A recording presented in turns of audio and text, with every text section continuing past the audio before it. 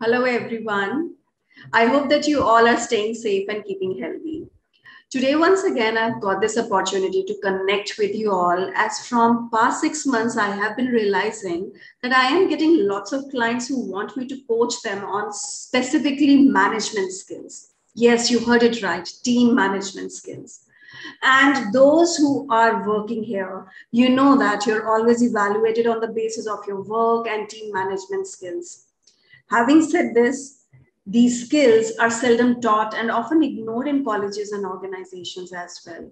No one teaches you how to handle office politics. No one teaches you how to manage your boss, your team members, your colleagues. What's the Z factor of public speaking? How to conduct those impactful board meetings or review meetings or successful client presentations how to embody the victorious body language, how to prepare for those interviews, IJPs, and land for that promotion as well.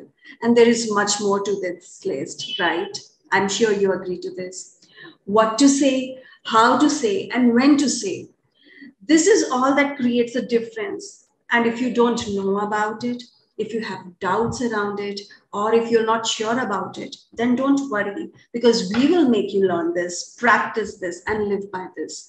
We will make you practice all these things in detail along with our unique and easy to learn interpersonal skills, leadership and management skills, techniques, and methods. Stand out and create the impact by gaining these skills by personal mastery's rigorous practice sessions of the upcoming program this end of May.